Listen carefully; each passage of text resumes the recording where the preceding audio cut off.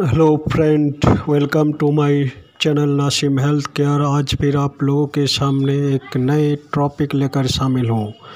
आज जो बात होने वाले है, बहुत ही यूज़ होने वाले टेबलेट के बारे में।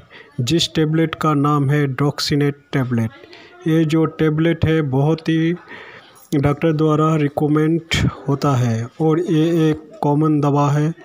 लगभग सभी मेडिसिन स्टोर पर मिल जाते हैं। तो फ्रेंड, वीडियो को शुरू करने से पहले एक बात कहना चाहूँगी।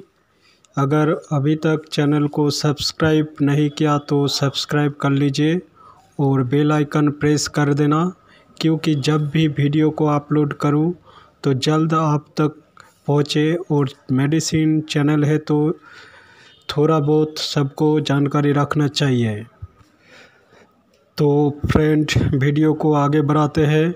डॉक्सीनेट टेबलेट, जो तीस टेबलेट का एक स्टिप होता है, इसके प्राइस लगभग एक सौ नब्बे होते हैं और इसे मनीष फार्मास्यूटिकल प्राइवेट लिमिटेड द्वारा बना जाती है। अब जान लेते हैं इसके अंदर क्या क्या होता है। इसके अंदर doxylamine ten M G, pyridoxine, hydrochloride ten M G होता है। ये एक एंटी हिस्टामिन दवा है जो एलर्जी रुकावट डालने का काम करता है। तो फ्रेंड आप जान लेते हैं इसके यूज़ के बारे में। ज़्यादातर इसे डिलीवरी पेशेंट को वोमिटिंग एलर्जी हर टाइम उल्टी उल्टी भाव होने, होना और विटामिन बी सिक्स पूरा करने पर ले सकते हैं। इस प्रॉब्लम पर इस टेबलेट को इजीली यूज़ कर सकते हैं।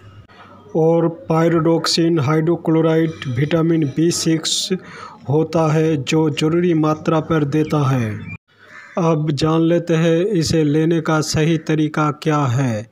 इसे आप दिन में दो या तीन बार ले सकते हैं खाना खाने के पहले। जल के साथ सेवन कर सकते हैं। इसे लेने पर ऐसे भी कोई दिक्कत नहीं होता है। पर इसे सेवन करने के बाद माथा पे चक्कर लगना, जी घबराहट होना, ऐसे ही थोड़ा बहुत दिक्कत हो सकता है। अब जान लेते हैं कौन इसे नहीं ले सकता। अगर किसी का kidney, liver, high blood pressure हो तो पहले डॉक्टर के साथ बात करें, फिर सेवन करें। तो फ्रेंड, आज के लिए इतना ही। फिर नए वीडियो के साथ शामिल होंगे। आपका दिन सुबह हो। बाय।